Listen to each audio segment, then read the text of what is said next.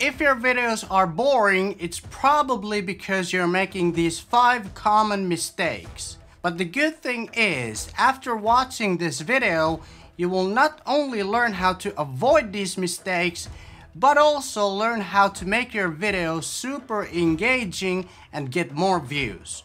Here's how. By 3 p.m.? Yeah, I can do it.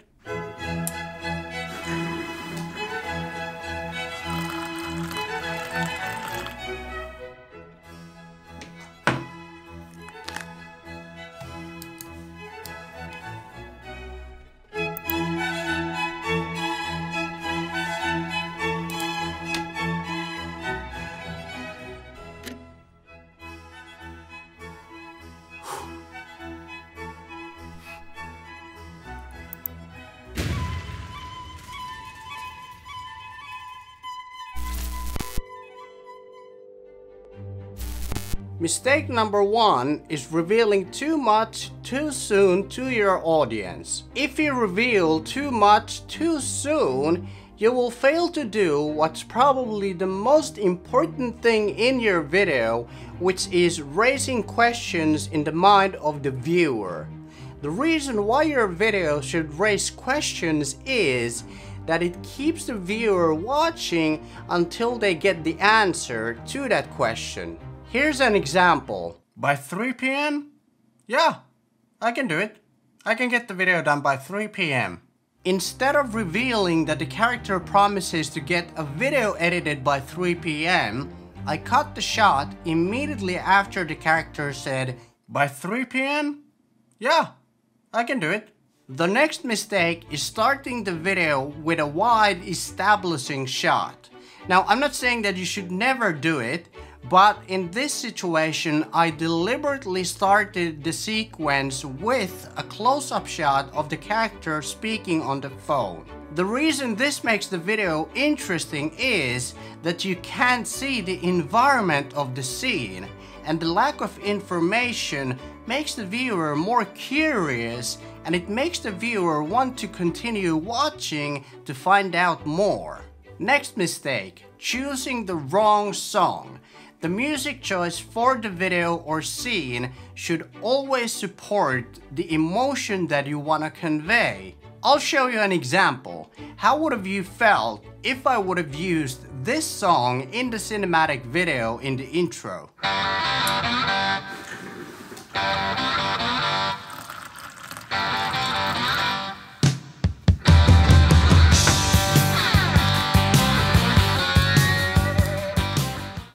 Exactly. You would have probably felt very confused and the video would have ended being very boring because the song just didn't support the story.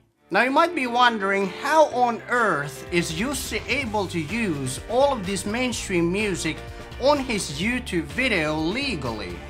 Well that's because every single song in this video is licensed from Lickd. Lickd is the music platform that allows creators to use mainstream music from the world's biggest artists and stock music without losing any ad revenue or getting copyright claims. So, whether you are a YouTuber with millions of subscribers or an aspiring creator, Lickd allows you to license over 1 million mainstream tracks to choose from artists like Justin Bieber, Bruno Mars, or David Guetta. The benefit of using mainstream music from Lickd in your video is that viewers will be watching longer and engage with your video more. Also, they've made finding music extremely easy with these simple search filters such as Spotify popularity, mood, genre, and so on. Sign up to Lickd from my link for 14 days of free stock music and 50% off your first mainstream chart track. Thank you Lickd for sponsoring this video. Next mistake is having way too many shots in one scene. And that's because every frame that the viewer sees should provide some kind of new information that moves the story forward. For example, what I did in the beginning of the cinematic video was, instead of showing the character picking up the phone, then saying hello, and then saying what he actually wanted to say, I instead cut all of that out and I went straight to the point with the character saying, by 3 p.m.? Yeah, I can do it. Next mistake is not having a compelling hook in the beginning of your video. Depending on how good or how bad your hook is, that will determine whether or not your viewer will actually watch the video. For example, I could have edited that cinematic video like this.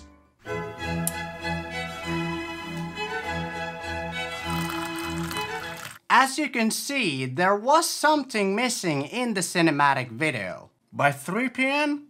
Yeah, I can do it.